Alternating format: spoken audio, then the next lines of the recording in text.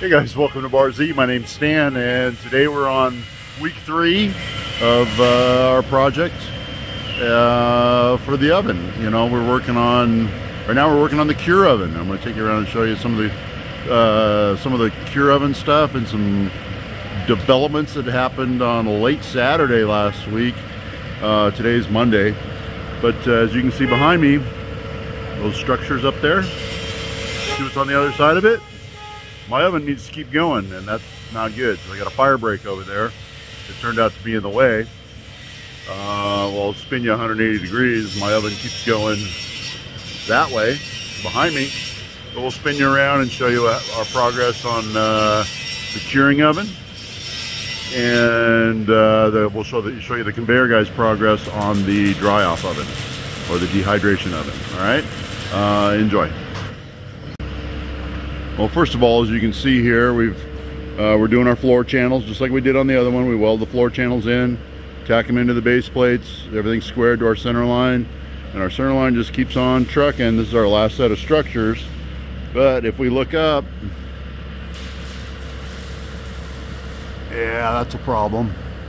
Okay, so uh, at, we already told the building guy and the general and stuff that that fire break uh, is in the way. So they're gonna take out a substantial portion of that, let us finish building our oven, and uh, then build it back in, probably tight, you know, just fasten it right to the oven. But our oven comes clear out to where that green line ends right there. So we come clear out to that black line, that little black Sharpie mark right there. So that's what we're looking at there.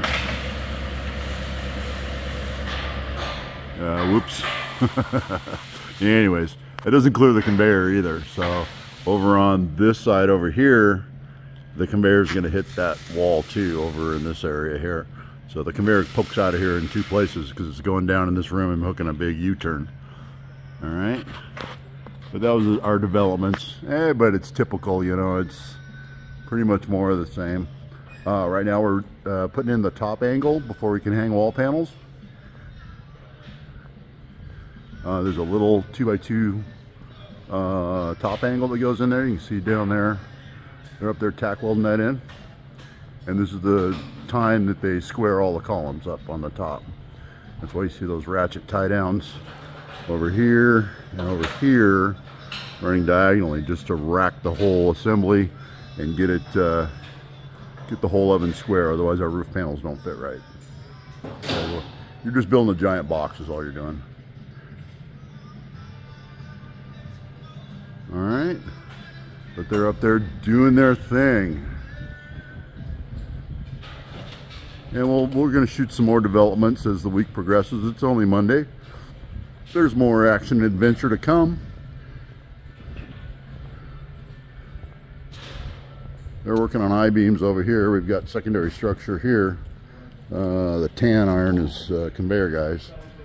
We've got conveyor line running through our dehydrant oven right now and they're out to there so that's good. So now I can get back after they're after they're done with that I can get back in there and do some more work. Uh, I got some more high reach work to do in there. I've got uh, re uh, return duct and uh, some block offs and only then can we put a floor in it. There was a comment on the channel about the floor. How do we protect it? Well we insulate it two inches and put a B deck a corrugated B deck down on the floor. And I'll when we're doing that I'll show you what that's all about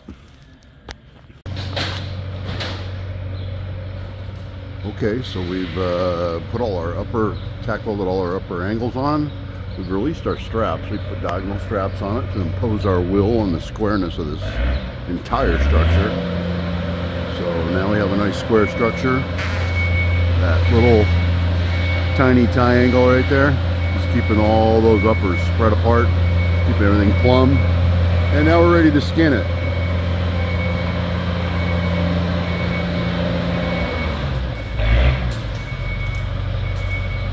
They are insulating panels. All the tongue side gets uh, one inch insulation.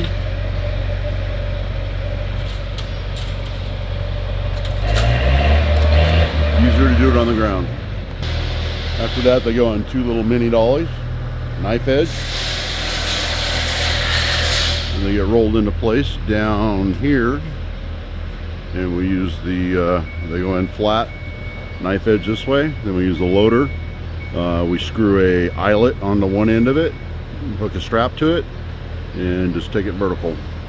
And then lift it two inches and drop it in the channel. So that's how the wall panels go in. Okay, so midday Tuesday, we've already got some wall panels standing on the on the big oven. And again, those openings are for for a heater. There's one opening there. There's another one a little farther down. There's two uh, air handler units on this one. These wall panels are already standing and you can see the little angle up top that we went through and welded in. I didn't really show you that before on the first oven, but there's a little angle we go through and we weld that in uh, to, to do our spacing on the on the black columns.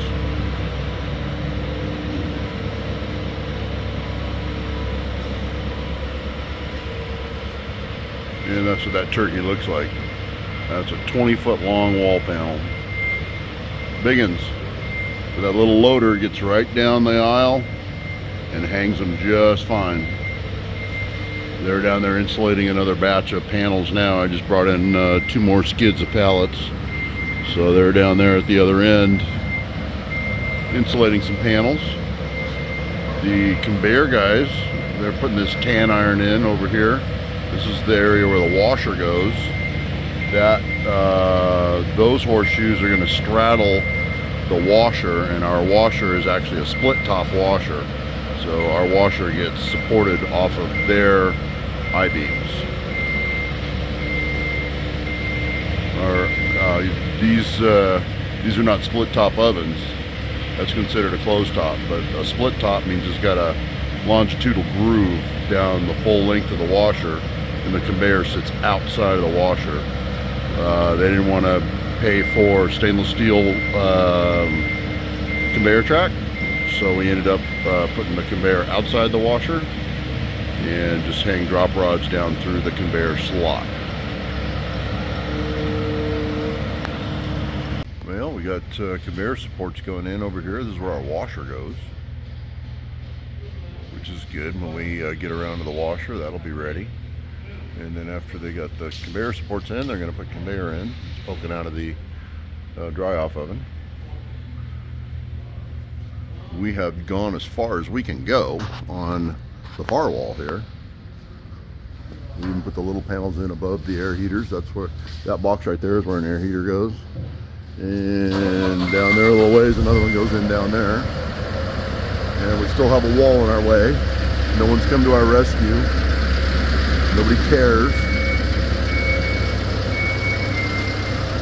But we're gonna, we got one whole wall to do down here. So we're gonna go ahead and run that. That'll keep us out of trouble for a little while. I don't know how long, but it'll keep us out of trouble for a while. Somebody on the channel, I think it was Chuck. Hey Chuck, uh, asked me if I was on a strict time schedule with the general contractor. I am not under contract with the general contractor. I am under contract with uh, the customer, the actual end user. So I got nothing to do with the general on this job. He doesn't have jurisdiction over me, which uh, I like it better that way. Because when it comes to obstacles like that, that'll really cut into your time frame, especially when uh, uh they don't uh, care how long it takes them to do it. But they still want to hold me to my bottom line and my uh, completion date. So, no, Chuck, I'm not under contract with the general. All right, so it's Wednesday. That's how far we got. Okay, guys. Well, we've uh, we made it through the week. We made it over Hump Day, and it is uh, Thursday. And we got some decent work done on the oven. Uh, the building guys are here today. and They're going to be getting, I'm going to try to tip up. Yeah, they're going to get that wall out of my way right there. So they're going to do my notch here so I can continue running my black iron. I still got uh, three more horseshoes to put in. Then of course the skins that go over it and all that. So uh, it took, uh, by the time I told them about it, uh, to the time they're actually doing it, three days. Not bad. For around here. Nothing happens fast around here. I've already learned that. So the building guys are here doing that. Uh, I'm gonna flip the camera around and we're gonna go look at some of the skins and stuff we've been putting on. And uh, we're making some good progress. So let's, uh, let's go take a look at that. Okay, well here's the south side of the oven. And we got this much wall put up. And we're still trucking along. You know, we've got uh, floor channel down all the way to there. We're prepping wall panels over there. We're insulating wall panels. And there's the guys doing the uh, prepping to do the uh, wall opening. Uh, this wall's done.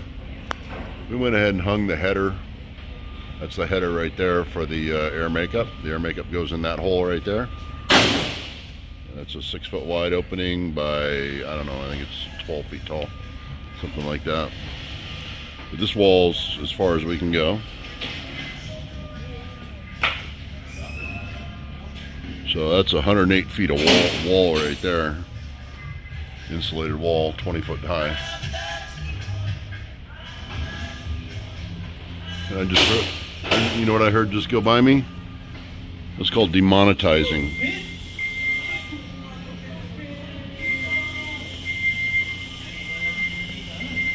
So uh, I don't know how many times I've walked the full length of this oven, but I've done quite a bit of it. And then we're supposed to get trucks tomorrow. Uh, hopefully with the lid. I don't have a lid for this thing yet. But our storage area over there is getting uh, starting to get empty. There's the looks of the oven from the inside. And still looking for a lid on this thing. But hopefully we get a truck tomorrow with lid and some more oven innards.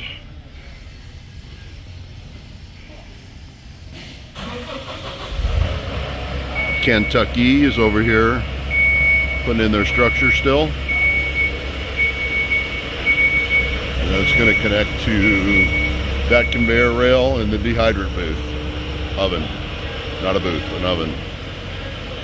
And we still got innards to put in that one too. So uh, we're, we're rolling. Not bad for our third week getting all this put in all right let's go take a look at the stockpile our dwindling stockpile all right so my dwindling stockpile you guys remember what this looked like right That's the remainder of the black iron I got to put up. That's all of it. Those are the panels that fill it up. And then there's floor channel and some coping and trim and stuff after that wall gets cut out. Let's try to do a zoom here. Oh yeah, they're cutting out a wall.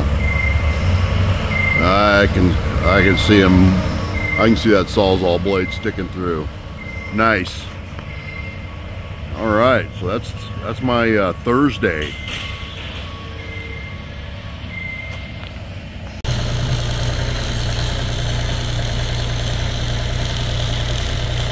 Well, they're here building my notch. My notch is complete. I put a little baby notch over there for the conveyor. It hit over there too. It wasn't really in my way, but it was definitely in the conveyor guy's way.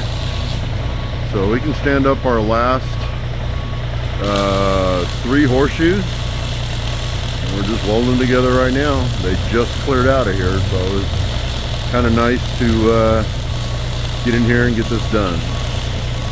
Okay, well it's Friday the 13th and uh, it's the end of our week number three and uh, not everyone knows what Friday the 13th means. It's only going to mean something to a special few of you, Hiram. You know who I'm talking about. I got nothing to do with Halloween. But uh, Friday the 13th, and we're finishing up for the week. I'm going to take you around and show you our progress. Had a few stumbling blocks this week.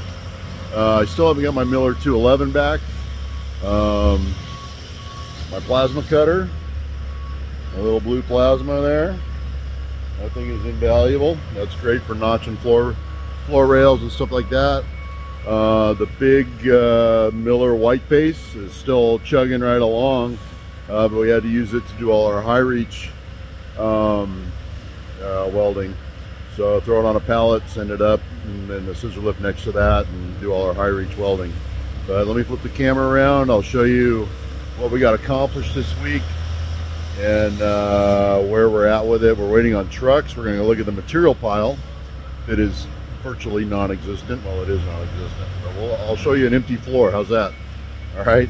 So uh, let's flip the camera around, and take one last walk this week, uh, see how the guys are doing, and uh, we're just finishing up for the week. We're actually going to go see. We're taking tomorrow off. We're not working Saturday. Uh, we're going to go see sprint cars. So uh, uh, they're wing cars, open wheels, and uh, thousand some horsepower on a quarter mile asphalt oval, three degree banks. So uh, that's always exciting. So we're going to go see Roundy Rounds. Anyways, let's get into last bit of week three. Okay, well the old Miller Whiteface is still chugging right along. That's what I told you about. I've got my portable welding table that I brought out to the job site. It's handy for doing little bits of fab. I've got a vise that actually I lock up every night. That's a that's a really big Starrett. LS Starrett, Athol vise company. Uh, really nice vise, and I don't let anyone grind on it. I don't do any torch work on it. I don't even let anyone do any serious hammering on it. It's it's old as dirt, uh, but it's uh, kind of a kind of a good vise. Uh, my old piano cabinet Knaack box. That's my daily driver. It's it's a freaking mess right now. Everyone and his brother's been working out of it. Uh, this ready saw has become really handy. Uh, we keep that set up on the side of the toolbox all the time. Just you need a quick cut, that that saw is just sitting right there. And a flip of a lever right here and you're you're sawing so yeah that ready saw is really good. And uh, stay tuned to the channel. When those become available I'll let you know about it. They're not available yet. So my material cart just takes a bunch of bin boxes on shelving. 10 gauge steel steel top so it's got a nice heavy top eighth inch 10 gauge and uh, Wilton bullet vise I just acquired recently so that's a seven foot long workbench. So that's a, that's a pretty good cart. So that's my setup.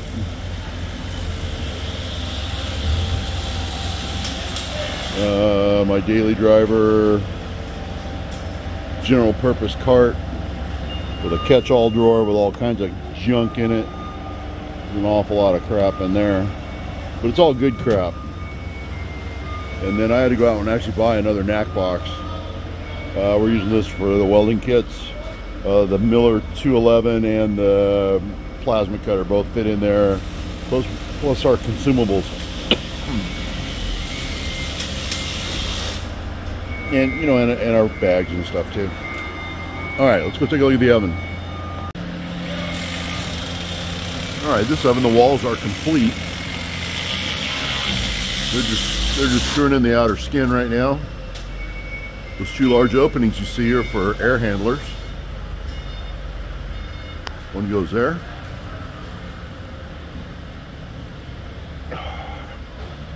And the other goes here.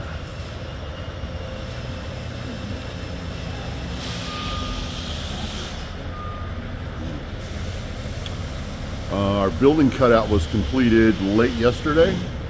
So we're actually able to do a little bit of work, stand up the rest of our steel, and actually get some wall panels in. I still don't have a lid. I'm waiting on a truck right now. So hopefully we'll have that for Monday morning. But we do not have the material for the roof of this thing. This thing has no roof on it.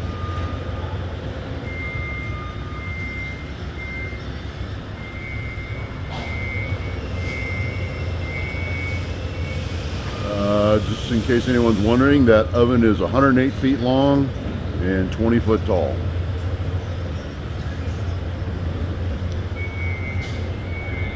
And our material pile. There's nothing to show you. That big open space there. I think in week one or week two, I showed you the material pile and that we had that whole space taken up with everything we've already installed. I know it looks overwhelming, but after you get rolling on it, it just, stuff just disappears.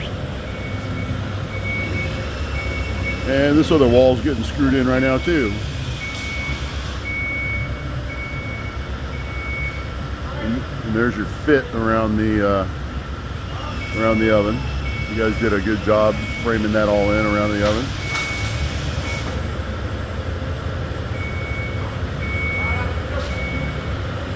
And the conveyor guys are hard at it. They, they stood that structure up this week. Uh, my washer goes in underneath that white structure there. So we're going to be working there uh, after Thanksgiving.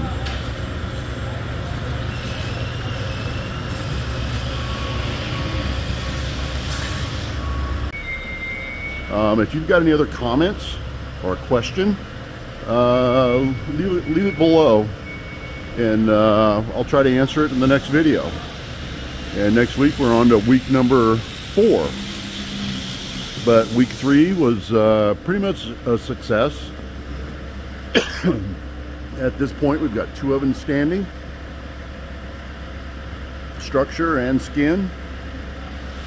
And we're out running the manufacturing guys. So we can put it up faster than they can build it. I thought it'd be a good time for a system overview.